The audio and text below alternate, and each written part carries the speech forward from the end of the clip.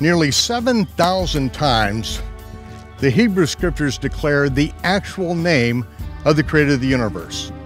In fact, the Almighty said the reason he brought our nation out of Egyptian bondage with such a mighty display of power was so that the entire world would know that his name is not the Lord, not Adonai, not Hashem, not God, not Jehovah, not Krishna, Vishnu, or Allah. But according to the most ancient vocalized text of the Hebrew Scriptures, his name is Yehovah. And just as the prophet Joel prophesied concerning the upcoming tribulation, whosoever shall call upon the name of Yehovah shall be saved. This is the greatest story never told. It's all about Yeshua, the prophet, the promised Messiah.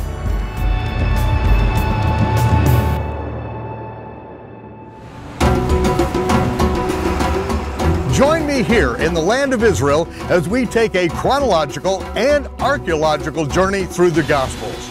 You have never seen anything like this before. I'm Michael Rood. Prepare for a Rood Awakening.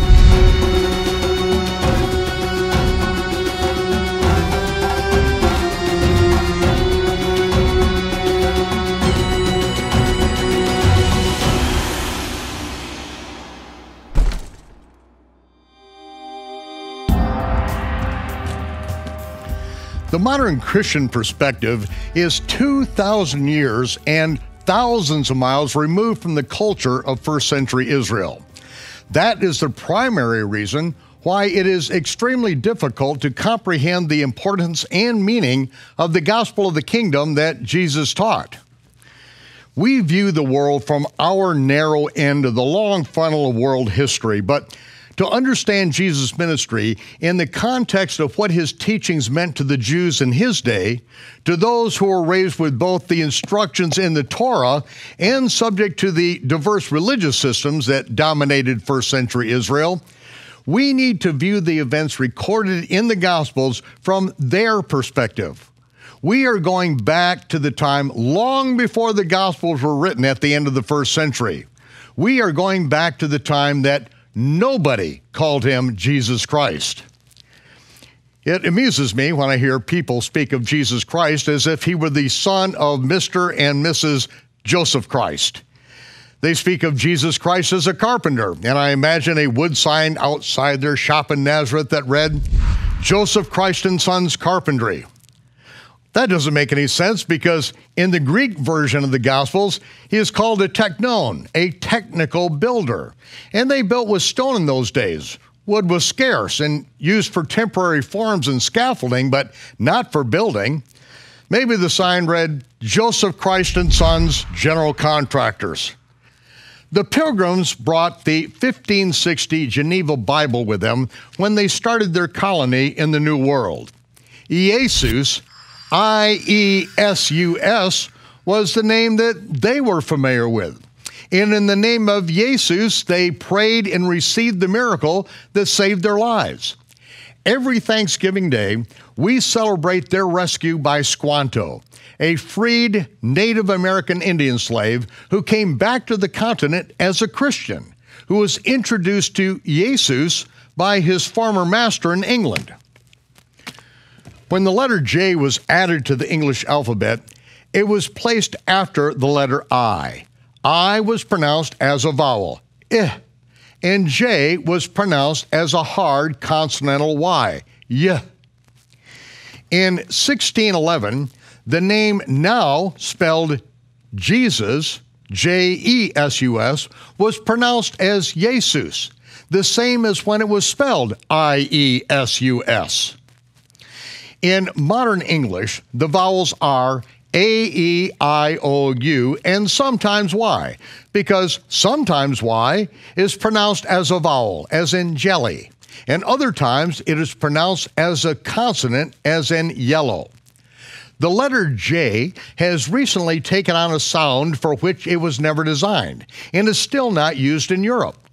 Yugoslavia is spelled with a capital J, and only Americans mispronounce it as Jugoslavia. Jesus is as close to his Hebrew name, Yeshua, as the Greek language allows. In the English transliteration of his Greek name, IE is pronounced as Ye. But there is no letter equivalent to the Hebrew letter Shin or the Sh sound in Greek. And though sus means horse in Hebrew and pig in Latin, in Greek, sus is a common substantive that is required to provide the declension of a noun to indicate case or number. Iesua, though a bit more accurate, really does not work in Greek. Thus, Jesus. But again, no one by the name of Jesus or Jesus was ever born in Israel. Before the birth of the child, the angel Gabriel came to Joseph with this instruction Fear not to take unto thee Mary thy wife, for that which is conceived in her is of the Holy Spirit, and she shall bring forth a son, and thou shalt call his name Jesus, for he shall save his people from their sins. Joseph was to call his name Jesus for what reason? He shall save his people from their sins? What does the name Jesus have to do with saving his people? It doesn't. Not in English, not in Greek, not in Aramaic, or any other language on the planet other than Hebrew. In Genesis 3:20, Adam called his wife's name Eve because she was the mother of all living. This makes no sense in English. But in Hebrew, it is a common figure of speech, a word pun. He called her name Hava because she was the mother of all high. Or in English, Adam called her Livy because she was the mother of all living. In the second century, Papias, a disciple of the gospel author John, stated that Matthew wrote his gospel in the Hebrew language, and several did their best to translate it. Early church historians acknowledged that fact several times in their writings, and Eusebius, the court bishop of Constantine, said that he saw a copy of the Hebrew Matthew but was unable to read it. It was thought that all copies of the Hebrew Matthew had been expunged under the bloody reign of Diocletian, but it unexpectedly survived in the covert archives of Jewish scribes. To this date, a total of 28 manuscript copies of the Hebrew Matthew have been located among ancient Jewish manuscripts scattered around the globe. The ancient Hebrew Matthew tells a story that cannot be appreciated in either the Aramaic or Greek translations of Matthew. And at the time Matthew was finally translated into English, the importance of his name was completely lost. The angel Gabriel's instructions to Joseph in the ancient Hebrew Matthew reads, You shall call his name Yeshua for Yoshia. The words he will save is one word in Hebrew, Yoshia. Yeshua means Yehovah saves. Yoshia means he will save. Yeshua, Yoshia. From this point on, we are going to call him by the name given to him by heaven, not the name given by Greeks, the English, or by those who mispronounce the letter J. Heaven sent a messenger to earth with the divine instruction to call him Yeshua. Why? because Yoshia, he will save his people from their sins. The angel Gabriel instructed both Miriam and Yosef to name the child Yeshua, the short form of the name Yehoshua. Yehoshua ben Nun was the name of the servant of Moses who eventually led the nation of Israel into the promised land. Spelled as Joshua in the modern English, but also translated as Jesus in the book of Hebrews. By the third century BCE, Yehoshua was commonly shortened to the more familiar Yeshua, but the meaning remains the same. Yehovah saves.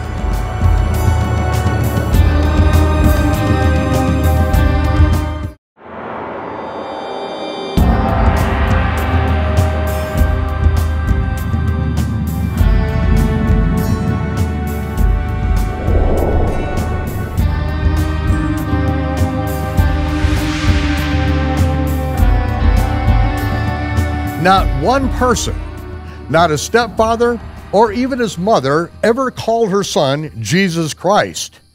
The term Christ or Christos comes from the Greek word Christos, which means to smear with animal fat, which is how the Greeks preserved their leather battle gear. Christos is remotely similar to the Hebrew term Mashiach, which refers to the one who is anointed with olive oil to be the king of Israel. Though Mashiach is transliterated into the Greek text of John 1:41 and 425 as Messias, they are the only times that the transliterated Hebrew word is used in the Gospels. And both times the Greek text adds the explanation that Messias means Christ. On the day of Pentecost, Peter acknowledged Yeshua's role as the prophet by quoting Moses. Throughout the Gospels, Yeshua constantly refers to himself by quoting the prophecy of Moses. The people repeatedly referred to him as the great prophet who should come into the world, an unmistakable reference to Moses' prophecy. There are dozens of references to Yeshua as the prophet. But anytime someone voiced that he was the Messiah or the Son of David, a distinctive shorthand reference to the Messiah, he commanded them to shut their mouths immediately. In Luke chapter 4, verse 41 records, Devils came out of many, crying out, Thou art the Messiah, the Son of God. And he rebuked them and did not allow the demons to speak, for they knew that he was the Messiah. In Mark 124, there was a man in Capharnaum synagogue who had a demonic spirit. As Yeshua entered the synagogue on the Sabbath, he shouted out, Leave us alone! What have we to do with thee, Yeshua of Nazareth? Have you come to destroy us? I know who you are. You are the Holy One of God. Yeshua rebuked him. Hold your peace. Shut up. Come out of him. The prophet Isaiah Yeshayahu declared that the Messiah would heal the deaf, dumb, lame, lepers, and the blind. And Matthew 9:27 tells us, when Yeshua departed Jericho, two blind men followed him, crying, Son of David, have mercy on us. Yeshua opened their eyes, and he immediately charged them, See that no man knows. Knows what? That the Messiah, the son of David, healed them. Matthew 12, 14. Because Yeshua healed a man with a withered hand in their synagogue on the Sabbath day, the Pharisees went out and held a council. They conspired against him how they might destroy him. When Yeshua knew it, he withdrew, and great multitudes followed him. And he healed them all. He charged them that they should not make him known. Why? That it might be fulfilled which was spoken by Yeshayahu the prophet, saying, Behold my servant, whom I have chosen, my beloved, in whom my soul is well pleased. I will put my spirit upon him, and he shall show judgment to the Gentiles. He shall not strive nor cry, neither shall any man hear his voice in the streets. A bruised reed shall he not break, and smoking flax he shall not quench until until he brings forth judgment unto victory. Then he will rule the rod of iron. And in his name shall the Gentiles trust. The Messiah's first mission was covert.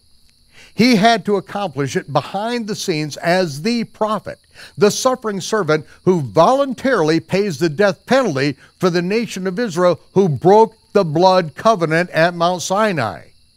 He who knew no sin died in the place of the guilty party. After this is accomplished for Israel, the Gentiles will have their opportunity to trust and obey him. Yeshua said that he did not come to bring peace to the earth. He came to bring a sword, the two edged gospel of the kingdom. That is the sort of division that separated the invented commandments of men from the eternal commandments of the Almighty. Just before going up to the Feast of Tabernacles, Matthew 16 13 records, Yeshua asked his disciples, Who do men say that I am? They replied, Some say John the Baptist, others Gamaliel, one of the prophets. He said, But who do you say that I am? Shimon Peter said, You are the Messiah, the Son of the living God. Yeshua answered and said, Blessed art thou, Shimon, son of Yonah, because flesh and blood has not revealed this to you. I didn't show it to you, but my Father in heaven showed you. Then he charged all of his disciples that they should not tell anyone that he was the Messiah. From that time forward, Yeshua began to explain to his disciples how that he must go up to Jerusalem and suffer many things of the elders and chief priests and scribes, and be killed by the Gentiles, and be raised the third day. There is one exception to his secret mission as the Messiah. Just one time when he broke his own rule of silence during his entire ministry, and that was to a Gentile woman. This incident is a prophetic statement concerning the time of the Gentiles, a period of time in which partial blindness happens to Israel, and the Gentiles can be grafted into the root of Israel if they will hear and actually obey the prophet.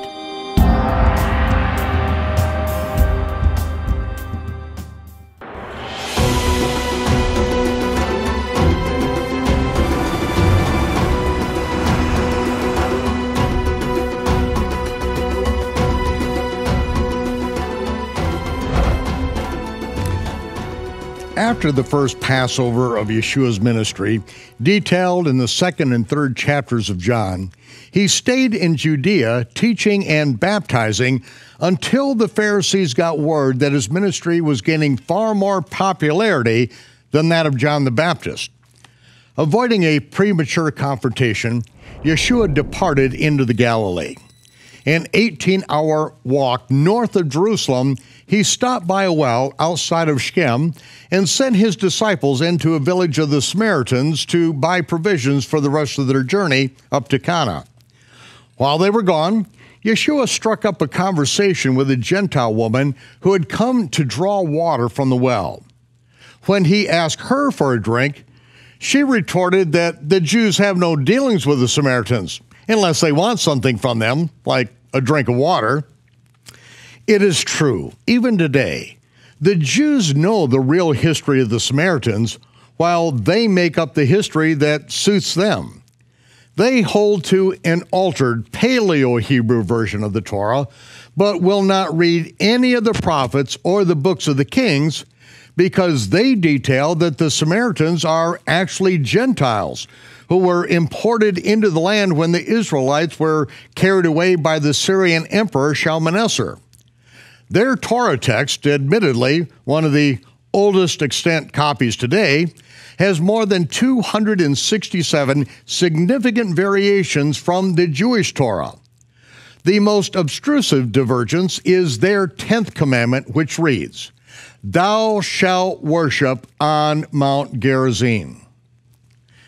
During the conversation with the woman, Yeshua told her entire life story including her disappointing love life. Realizing for the first time in her life that she is in the company of a true prophet, she asked Yeshua the burning theological question that had separated the Jews from the Samaritans for hundreds of years. Our fathers say to worship and sacrifice the Passover on this mountain, Mount Gerizim. The Jews say we must worship in Jerusalem, and Mount Moriah is the only place that sacrifices are to be performed. What do you say? Yeshua came back with a cryptic answer that 2,000 years later is still hard to comprehend. The woman replied with the typical answer that we still use today when we either do not understand or do not fully agree. She said, I know that when the Messiah comes, he will teach us all things.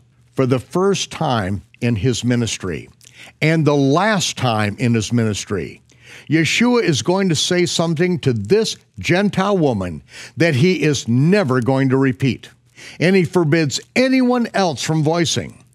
He replied, You are speaking with the Messiah, right now. Stunned, the woman dropped her water pot, ran back into the city. She shouted in the streets, This man told me everything I did in my entire life. Is this not the Messiah? The disciples returned from the village with food, but Yeshua refused to eat. Seeing that it was not yet Shavuot and there were yet four months until the fall harvest, Yeshua turned his disciples toward the city and pointed out to them that the fields were already white for the harvest. Out of the Samaritan village came the entire population, dressed in their traditional white linen halukim, to see the man who had told the woman everything she ever did. This is why Yeshua could not eat. He knows this is the day that he opens the eyes of the Gentiles. According to the Samaritans today, it was Yohanan, the 49th Samaritan high priest, who said to Yeshua, We heard the woman, but we did not believe. We hear your words and we believe that you are the Messiah. You are the Savior of the world.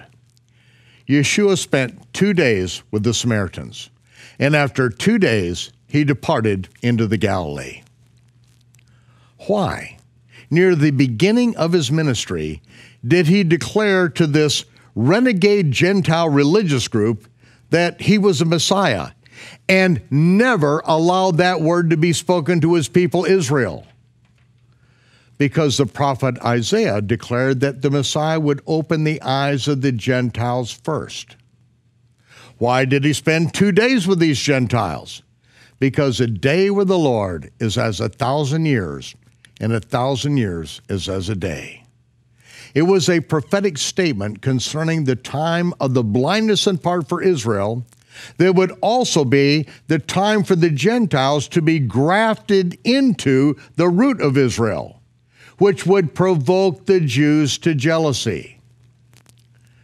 When the Torah is written on the hearts of the Gentiles, and they, out of love, are compelled to keep the commandments of God, while eschewing the ordinances and commandments fabricated by the Pharisees, it provokes Jews to jealousy. They really do not want the Gentiles repenting and being obedient to the Torah even though they were to be the priests and prophets to the world. Like Jonah, they do not want the Gentiles to repent from their inherited paganism. They would rather be thrown into the sea than call the Gentiles to obey God's law. They want the Gentiles to accept their fabricated Noahide laws. Jewish pride wants the Gentiles to continue in all the pagan abominations that they inherited from Rome because when Gentiles have the Torah miraculously written on their hearts, it exposes the shallowness of their Pharisaic religion. They really want there to be two houses of faith us and them in opposition to the commandment that specifically states that there shall be one Torah for both Israel and the Gentile that dwells among them. It was the plan of the Almighty to open the eyes of the Gentiles and have them hear and obey the words of the prophet of whom Moses spoke. Their Messiah confession and Yeshua's two days with these Samaritan Gentiles is just the beginning of this prophetic awakening. In four months, Yeshua will stop at the same village. But the next time, they will refuse to sell him anything for his journey because he will not play Gentile church with them on Mount Gerizim. He is going up to Jerusalem for the Feast of Tabernacles, just as the Torah instructs. And all he is going to get from these Gentiles are excuses for not following him or the real Torah. Nothing has changed. Very few Gentiles will actually hear and obey the prophet. They had their religions and their versions of the Bible to protect. Like the Samaritans, they might say Jesus is the Christ, but if the Torah is not really written on their hearts, Their manufactured religion will keep them from following the one that they proclaimed Savior of the world.